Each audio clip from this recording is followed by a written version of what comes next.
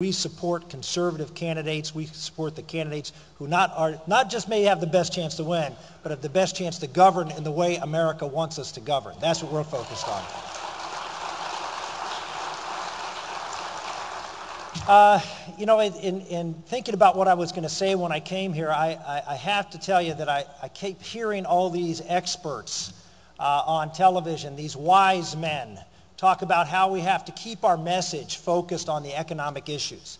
And they're, they're putting together this package of, of bills and ideas, and we've got to make sure it's disciplined and it's on the economic message because that's the most important thing. Well, look, it is a very important thing.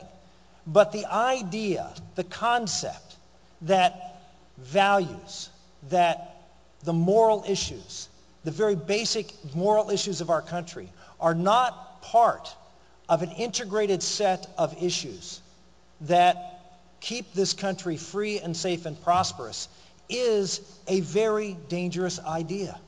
That we can go out and fly on one wing. That we can fly on just the wing of talking about taxes and spending and government. Look, those issues are what are those issues at their heart? The issues of taxes and spending and big government and huge debt. What is the core of those issues is the issue of freedom that government is taking your freedom away. Government is taking the freedom away to earn what you, what the, the, the fruits of your labor. Government is taking the freedom away to, to practice the kinds of trades that you want, to be able to go out and practice the faith that you want. This is a basic issue of freedom. And what is necessary in our society if we are to be free? Well, our founders had it right. John Adams say, our Constitution is made.